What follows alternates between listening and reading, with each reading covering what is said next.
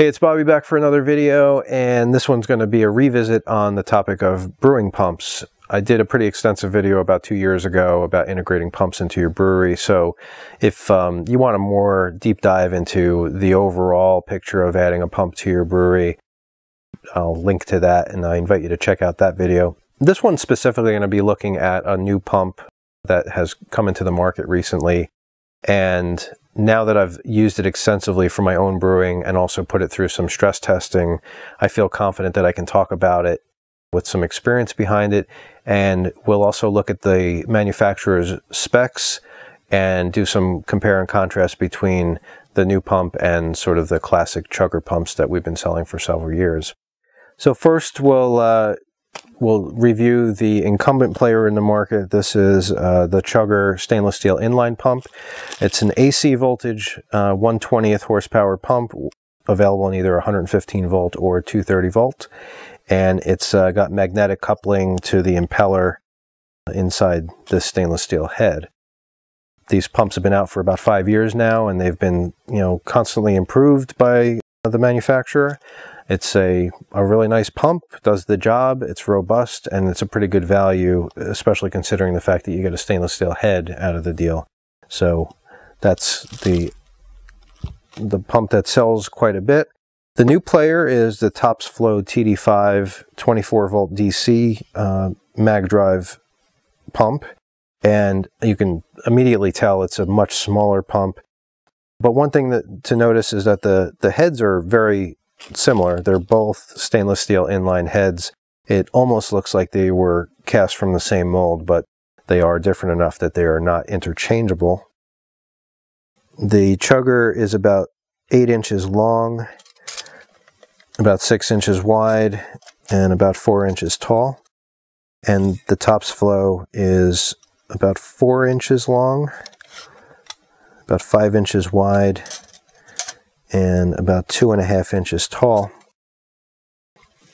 The chugger's mount is actually uh, a plate that's welded to the casing of the motor, so this can be hard mounted to your brew stand with four bolts or so. The Topsflo, on the other hand, comes with this flexible rubber mount that you kind of struggle a little bit to get around the motor housing, but once you do slide it, it's got a nice firm fit on there. And you can then attach these uh, two mounting points to your brew stand with a, a set of screws. And um, being rubber, it does provide some anti-vibration uh, so that any vibration that it might generate doesn't go into your brew stand directly. Whereas the uh, the chugger doesn't have any kind of anti-shock mount. You could probably put a a slab of rubber underneath here that will help a little bit in that regard.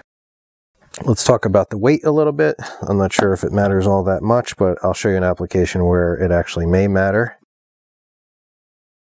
I don't know if you can read these, but uh, chugger pump weighs uh, 5 pounds 14 ounces, so just under 6 pounds.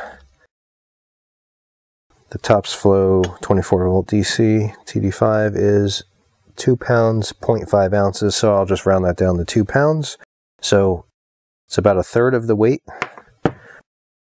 Now, neither of these pumps have the ability to pump air, which is to say that they are not self-priming. They will not pull a suction on the input until liquid is in the head and being ejected out of it. So uh, both of these require uh, flooding with, with water before you turn them on. So there's real, really no difference between them in that regard. The Chugger AC motors are either 115 or 230 volt. The Topsflo pump comes with an AC adapter to, to convert to 24 volt DC, which uh, disconnects right there. And it also comes with a power cord to get the AC voltage into the adapter. And then just like a laptop adapter, that plugs in there. Um, the cool thing about this adapter is that it doesn't care what the AC voltage coming in is. Uh, if it's between 100 and 240 volts, it will still generate the appropriate 24 volt DC. So that is nice to just, on face value, having a pump that will adapt to any AC voltage that you may throw at it. But where this really matters a lot is if you get into building an electric brew system that has a controller. Let's say you're running 240 volts into your control panel so that you can, you know, have a high powered element firing in your, your boil kettle. If you want to be able to put a switch and a pump outlet in that same control panel and run a 115 volt pump off of that same control panel, you're going to need four conductors coming into that controller. You're going to need two hots, a neutral, and a ground. And the neutral is required to derive the 115 volts.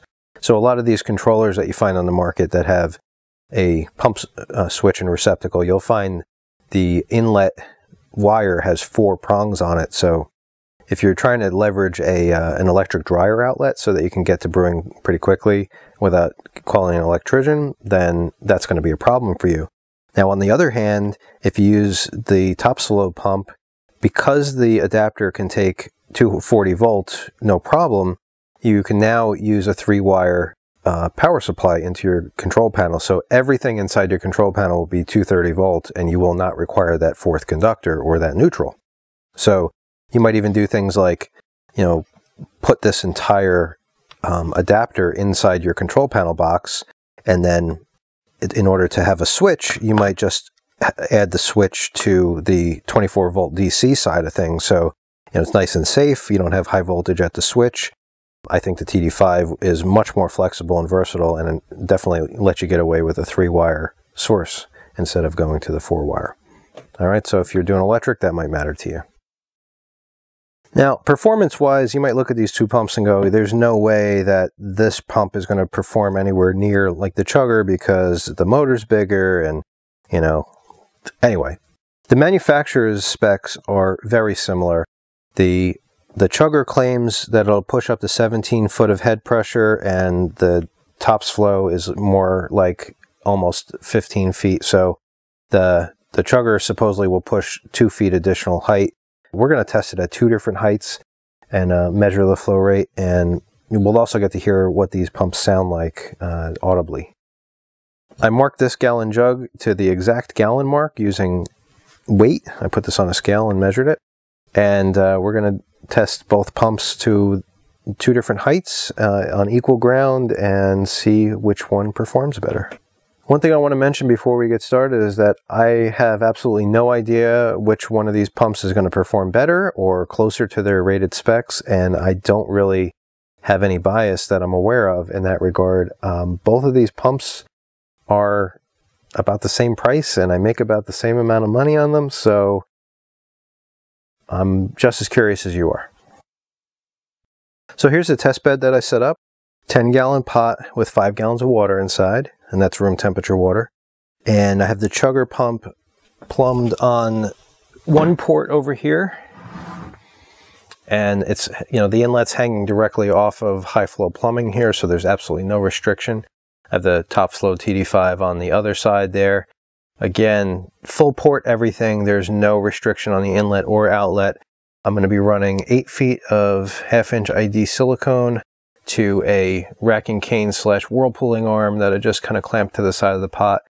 And uh, we'll run each pump individually to see sort of what the whirlpool performance looks like without doing any measuring, you know, or just kind of like observing it. And then we'll start getting into sort of the, uh, the uh, race between flow rates, okay? Now I'm wearing a lapel microphone on my shirt and so I, I think it's probably going to give us a pretty good representation of the overall noise that each of these pumps generate, kind of from the brewer's perspective where you might be standing. So I'll move around a little bit and hopefully you'll get an idea of uh, where it is. Or, you know, maybe I'll just hold the, uh, the microphone uh, sort of in a neutral location. Neither of these pumps is touching the floor. They're just floating on the, on the, uh, the fittings directly. So hopefully that's putting them on equal ground.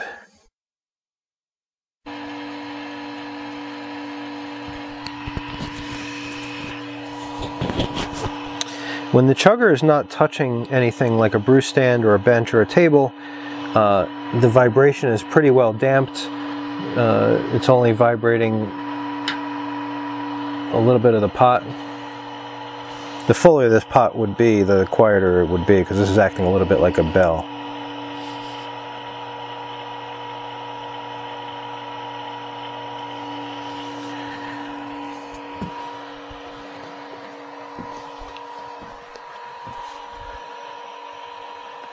The Whirlpool action is what you'd expect. It's pretty good. I'd, I'd be very happy with that. All right, now we're gonna try the Topsflo.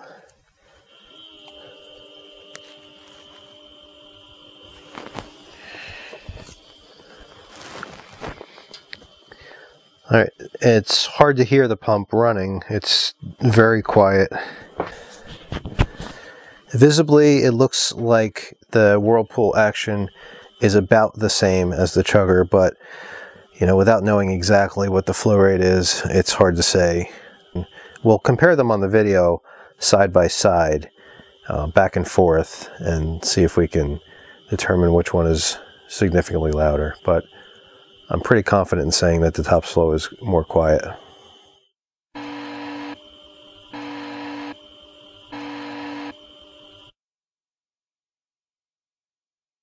So right now I've got the Topsflo TD5 hooked up to the tubing and we're running up to this gallon jug here and I've got a timer set up. So as soon as I turn the valve open to pump, I'm going to uh, start the timer and we'll see how long it takes to get to one gallon. This outlet right here is four feet off the floor. That's 48 inches. And we've have about eight inches or so of water in the pot. So it's really about 40 inches of head. Let's just call it four feet for sake of argument. We're going to test the same exact way with both pumps. And let's see what happens. All right, I have the Topsflo pump running. The water is completely full right to the top here.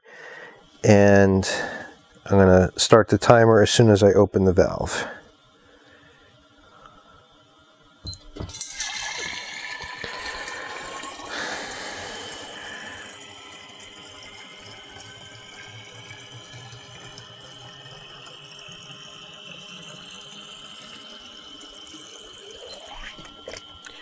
There's the 14 on the timer. Let's do it one more time for consistency. Okay, here we go.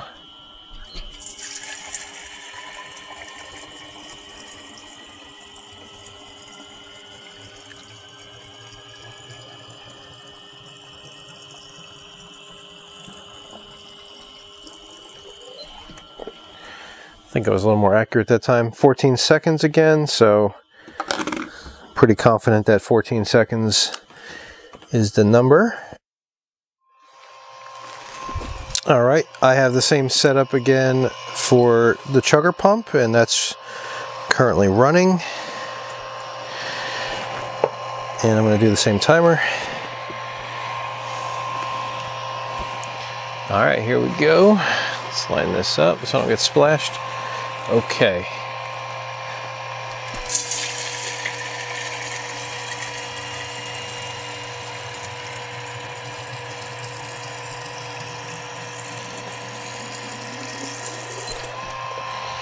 All right, I think I got it pretty well. I, am very close to there. I hit the timer, 11 seconds for this first run.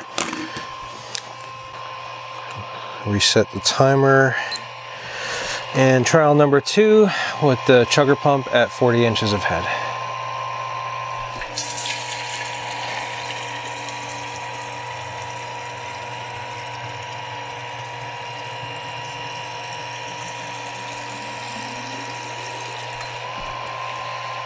All right, definitely got it that time, 11 seconds again, so I do have consistent results.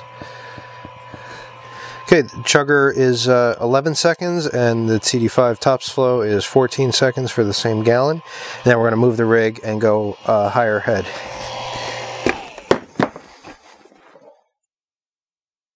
The manufacturers publish a graph on the literature that uh, describes the flow rate decrease as the head increases. And both of these actually perform 25% slower than the graph suggests. Nevertheless, the, the both of the pumps are good performers. They will uh, both Whirlpool probably up to 10 gallons of wort, no problem. If you're looking for absolute maximum flow rate and performance, the chugger pump still wins, obviously. Um, so really what we're doing is saying the Topsflo is about one gallon per minute slower than the chugger pump in the same scenario. So, you know, is that enough uh, to sway you to buy the chugger over the new Topsflo? I mean, I don't know. You have to kind of weigh that yourself. Now, even though the Topsflo is a new kid on the block, the performance is pretty darn good compared to how otherwise versatile it is, being smaller, lighter, you know, voltage versatility and such that we discussed already. You know, I have the TD5 on my brew rig, which is a recirculating electric brew in a bag, you know, single vessel. And it was installed there because that's what I brew on and I wanted to really try the pump out and try to see if I can make it fail.